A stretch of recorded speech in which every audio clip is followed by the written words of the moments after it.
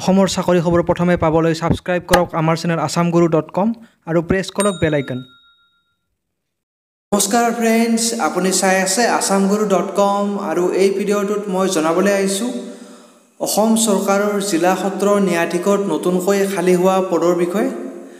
তো ইয়াতে মাথো এইট পাছ কৰা হ'লেই আপোনালোকে আবেদন জনাব পাৰিব। ইয়াতে পিয়ন চকীদাৰৰ বিভিন্ন পষ্ট ওলাইছে।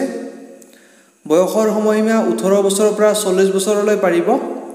কেনেকৈ ক'ত আবেদন জনাব সবিশেষ ভিডিঅ'টোত কম সময়ৰ ভিতৰতেই গম পাব।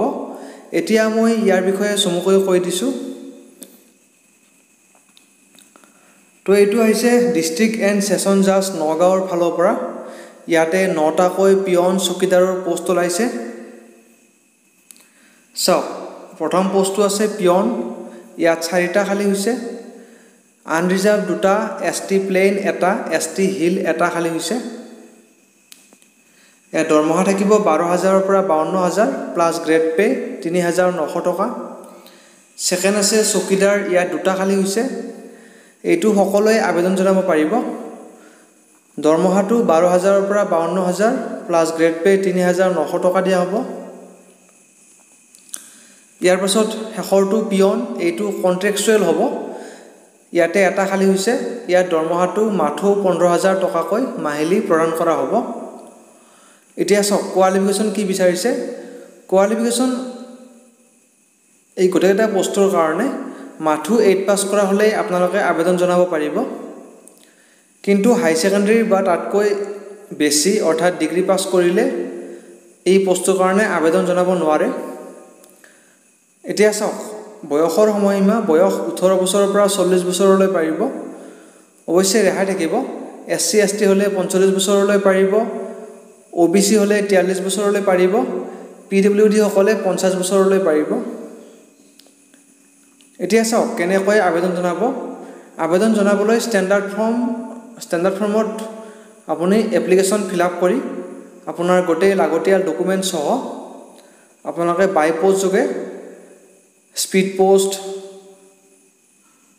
বা পোষ্ট যোগে পঠাব লাগিব। নাইবা আপোনালোকে তাত গৈ ড্ৰপ বক্সত জমা দিব পাৰে। ডিষ্ট্ৰিক্ট এণ্ড ছেশ্যন জাজ কোৰ্ট বিল্ডিং নগাঁও তাত ড্ৰপ বক্সত জমা দিব পাৰিব। নাইবা আপোনালোকে ইমেইল কৰিব পাৰিব। আপোনালোকৰ গোটেই ডকুমেণ্টছসহ পি ডি এফ ফৰ্মেটত আপোনালোকে ইমেইল কৰিব পাৰে। চাওক recruitment dot D J Nagaon at the rate gmail dot com এইটো ইমেইলত পঠাব পাৰিব। তো আপোনালোকে ষ্টেণ্ডাৰ্ড ফৰ্ম ফিল আপ কৰোঁতে আপোনালোকৰ মোবাইল নম্বৰ আৰু ইমেইল আই ডিটো ভৰাই দিব। এপ্লিকেশ্যন বাই পোষ্ট যোগে পঠা পঠালে আপোনালোকে এইটো এড্ৰেছত পঠাব লাগিব। To the district and session জাজ নগাঁও। আৰু আপোনালোকে এনভেলপ বা লেফাফাৰ ওপৰত এপ্লিকেশ্যন ফৰ দ্য পষ্টত যিটো পষ্টৰ কাৰণে এপ্লাই কৰে পিয়ন হ'লে পিয়ন চকীদাৰ হ'লে চকীদাৰ যিটো পষ্টৰ কাৰণে এপ্লাই কৰে সেইটো পষ্টৰ নামটো লিখি দিব। কণ্ট্ৰেকচুৱেল পষ্টটোৰ কাৰণে কৰিলে পিয়ন কণ্ট্ৰেকচুৱেল বুলি লিখি দিব। আৰু ডকুমেণ্টছসমূহ ছেল্ফ এটেষ্টেড কৰা হ'ব লাগিব। আপোনাৰ গোটেইখিনি লাগতিয়াল ডকুমেণ্টছ যেনে মাৰ্কশ্বিট চাৰ্টিফিকেট গোটেইখিনি লাগিব। লগতে তিনি কপি পাছপৰ্ট চাইজ ফটো লাগিব। আৰু ইয়াৰ পাছত যিসকল ল'ৰা ছোৱালীক চিলেক্ট কৰা হয় সেইসকল ল'ৰা ছোৱালীৰ নাম এইটো ৱেবছাইটত প্ৰকাশ পাব। চাওক Nagaon judiciary dot G O' V dot in এইটো ৱেবছাইটটো আপোনালোকে চাব লাগিব। এইটো ৱেবছাইটতে গোটেইখিনি প্ৰকাশ পাব। আপোনালোকৰ কেতিয়া এক্সাম অনুষ্ঠিত হ'ব গোটেইখিনি তাতেই প্ৰকাশ পাব। আৰু এইটো আজি প্ৰকাশ পাইছে। আৰু ইয়াৰ লাষ্ট ডেটটো হৈছে পোন্ধৰ দিন। পোন্ধৰ দিনৰ ভিতৰত আপোনালোকে পঠাব লাগিব বা ছাবমিট কৰিব লাগিব।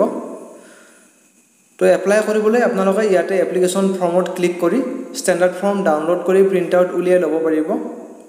সবিশেষ এডভাৰ্টাইজসমূহ চোৱাৰ বাবে আমাৰ অফিচিয়েল ৱেবছাইট আছাম গুৰু ডট কমত ভিজিট কৰিব।